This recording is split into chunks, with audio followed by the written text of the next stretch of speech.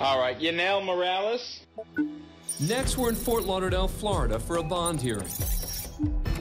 32 year old Yaneli Marie Morales was charged with burglary with assault or battery for breaking into the home of a woman who was allegedly having an affair with her boyfriend.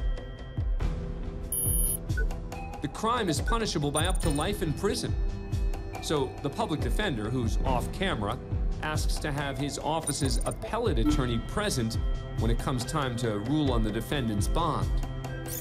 I've contacted our appellate attorney that wants to be present and make arguments. They're only available this afternoon.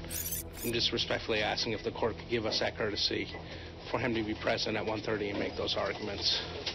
Judge Michael Davis is not opposed to the request. Problem is, he wants to move things along.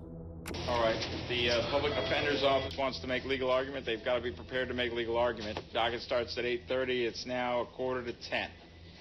All right. Ms. Judge. Yes. Judge, can I just have one moment, please? Sure. After consulting with his colleagues, the public defender lets the judge know the other attorney is actually on her way. How long? A few minutes. She's on her way. All right, we'll pass it. Thank you. Have a seat, ma'am. But after waiting about 20 minutes with no sign of the attorney, things start getting awkward. The public defender's office is about a two-minute walk away. Your colleague is not here. It's 20 minutes later. I'm going to call Miss Morales' case back. Yaneli Morales. All right. Good morning, Miss Morales. You're charged with a burglary with assault or battery. I'm going to find probable cause for that offense, ma'am. The state is asking that Morales be held without bond. But before continuing, the public defender again asks to have the office's appellate attorney present. Your appellate attorney asked to be here 20 minutes ago, and she is not here. Judge, but it now- shows a just- blatant disrespect to this court.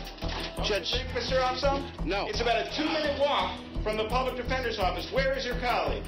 Judge, may I have just one minute? I would like to have a You've supervisor present. minutes.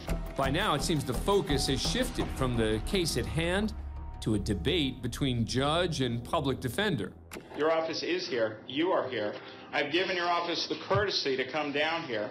Your colleague has apparently hung you out to dry. I'm not really sure why, but you're now making conflicting arguments. I'm not saying the court. I'm asking you to explain this inconsistency. Judge, what I'm trying to, what I'm saying to the court I need is you to on a, that question. But when the public defender still can't answer his question, Judge Davis loses his temper. what I'm saying to the, All right, we're all done then. All right. State anything else? Ma'am, you're going to be held without bond at this time. Good luck. All right. But three days later, at her next hearing, Yaneli Marie Morales was released on a $10,000 bond and is currently awaiting trial. Thanks for being a fan of CourtCam. Subscribe to A&E to never miss a new video and catch full episodes on aetv.com.